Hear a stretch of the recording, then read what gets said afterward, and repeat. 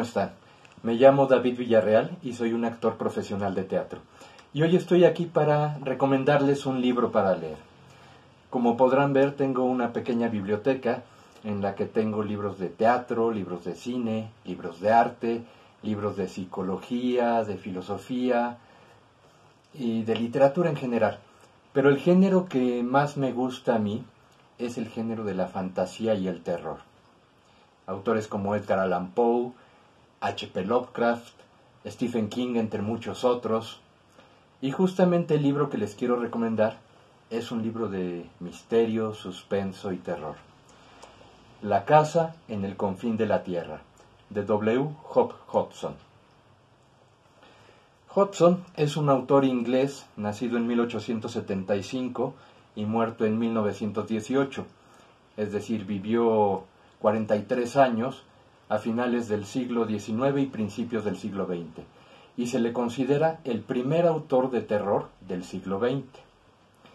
La novela de Hudson es, es muy interesante, nos narra la historia de dos amigos que se van a viajar a, a Irlanda de vacaciones, se van a una comunidad apartada y allí encuentran una cabaña cercana a un río, una cabaña abandonada, en donde deciden pasar sus vacaciones.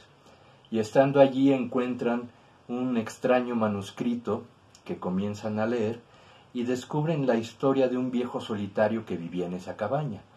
Un hombre que empieza a tener extrañas experiencias, situaciones muy raras, eh, criaturas que se aparecen, portales a otras dimensiones que se abren, el tiempo se empieza a distorsionar, él empieza a, perder la, su relación con la realidad.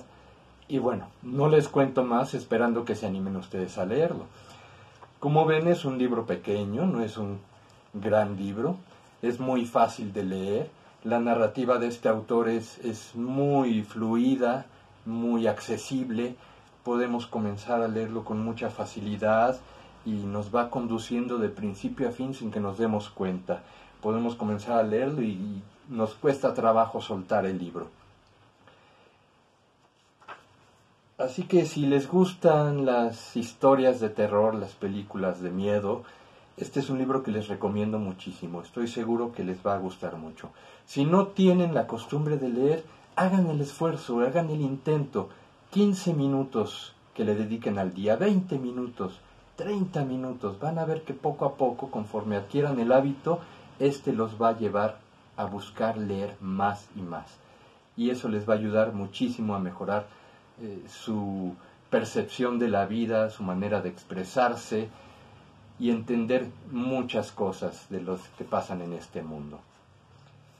Pues los dejo por ahora, espero que se interesen en La casa en el confín de la tierra de W. Hop Hudson.